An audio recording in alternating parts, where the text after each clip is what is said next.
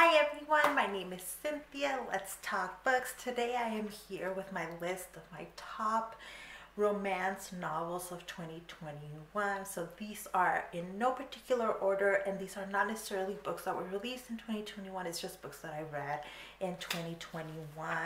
I have, let's see, eight books that I want to talk to you about all romance novels in different kind of subgenres of romance. So the first book on my list is Take a Hint, Dani Brown by Talia Hibbert. The Brown Sister trilogy is it's a good one. I've enjoyed every single one of the installments. Um, Talia Hibbert just has a really like fun, sparkly way of writing. The chemistry between the characters are delightful, and in fact, I think that Dani Brown's my favorite one of the sisters. She is working at a university doing her work and then uh, is developing a crush on one of the security guards when there is a drill, a fire drill, and then in comes the security guard to escort her out of the building and they have this beautiful little romantic moment that gets caught and becomes a big deal on social media. Uh, there's fake dating and just the characters are just so mature, super cute. I just really, really enjoyed um, Take a Hint in Dani Brown, and I can't wait to read more from Talia Hibbert. Um, I've started delving into her um, her other books and I just I've been enjoying a lot of what what she's been writing and take a hint Dani Brown was definitely a standout in 2021 for me. So next on my list is The Killing Dance. This is book number six um, in the Anita Blake series by Laurell K. Hamilton. This is the book in which um, a lot of sexual tension is consummated. I just, I really am enjoying Anita Blake. I'm enjoying seeing her evolution. Um, I'm enjoying all of the side characters. Um, and this is just, this was just a standout for me in the series. And it's rare that a book this far into a series really stands out. Uh, but this one just did it because it's book six in the series. I really can't say anything else, but uh, yeah, I just, I really enjoyed it. And it was definitely a highlight for me in 2021. Next book on my list is The Spanish Love Deception by Elena Armas. This is a book in which our main character um, has is going to a wedding, a family wedding um, in Spain. She doesn't have a date and everybody thinks she should have a date because the best man at the wedding is her ex who uh, she had a kind of some sort of weird breakup. We don't know everything that happened there. Um, enter her co-worker who she hates and who she thinks hates her and he's volunteering to be her date on this wedding to Spain. Um, and the, the beginning is a little bit sluggish because you don't get to Spain until further into the book. But once we get to Spain, uh, there was a, lot of fun, uh, a lot of laughter, a lot of romantic moments. There's only one bad. Anyways, I enjoyed it. Um, I read it with my siblings, so that made it extra fun and kind of special for me. Uh, I know this book was really big on TikTok. Um, I kind of missed that that craze. My sister was the one who, suggested we should read this book, and I had fun reading it with my siblings. Next book on my list is Morning Glory Milking Farm by C.M. Nascostas. Uh, Nascosta. I okay, this is not a five. This was not a five star read for me, but it was such a weird, interesting romance monster romances are really interesting sometimes because sometimes they do really cool interesting things. This this was about a minotaur. And uh, a milking farm where minotaurs are milked. And our main female character starts her job there. And uh, the hero is a minotaur client this story could have been super, super icky, um, but I thought that the way it was written was really clever and really interesting. Uh, this was one of those books that was really big on TikTok uh, for a while and then on social media. And I can totally see why. When a book just does something interesting, something different, even within the monster romance genre, I thought this was really quite unique. Um, it really stands out and it doesn't have to be a perfect book to really capture a romance audience's attention. It just has to do something unique. And I thought that this book really, really did it. Uh, it's obviously not going to be for everyone, and I would not tell anyone to start the romance journey with a monster romance unless uh, that really appeals to you. Uh, but uh, this was interesting. Yeah, oddly interesting and oddly sweet. I found it really, really sweet because I was not expecting that from the description I was hearing everybody, um, you know, give. But it turned out to be a really sweet, uh, really interesting book. The next book on my list is A Lot Like Adios by Alexis Daria. I've really been enjoying Alexis Daria's um, writing um, she's she's also somebody who's doing something really interesting where like her writing just also sparkles for me. Um, added to it her books are all latinx romances. They feature latinx characters and this one both characters are latinx um, who uh, are reconnecting this like second chance romance and i'm not a big fan of second chance romances but this year i found a few that i really liked and lot like the adios was one of those.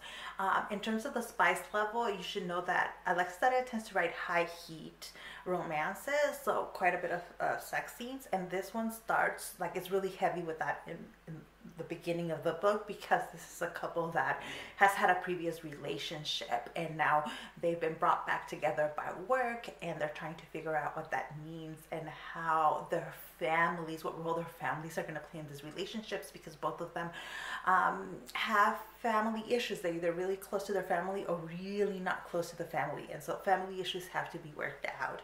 And I just found a lot of that really realistic and really meaningful. And I really enjoyed it. The next book on my list has got to be my favorite romance that I read in 2021, but also one of my favorite, one of my top favorite books of the year. And that is The Fastest Way to Fall by Denise Williams. I did a dedicated review to this uh, book and I will link that in the description box if you're interested in hearing me talk more about that.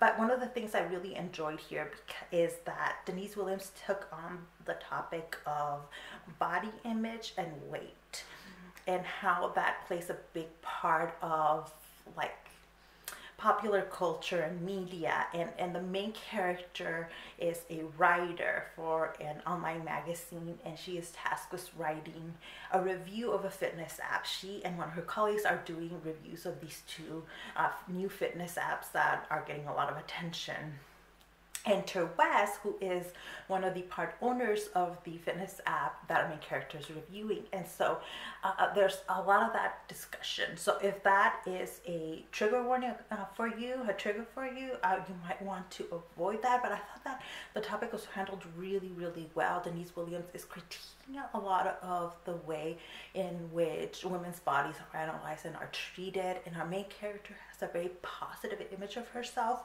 but also deals with insecurities. And um, and it's also a book that kind of makes you want to exercise. It was very odd because I'm telling you, this is all handled really, really well. Um, and uh, I just, I really enjoyed it. I also really liked the way the couple dealt with the central conflict in the relationship of this conflict of interest in their jobs and what they're doing.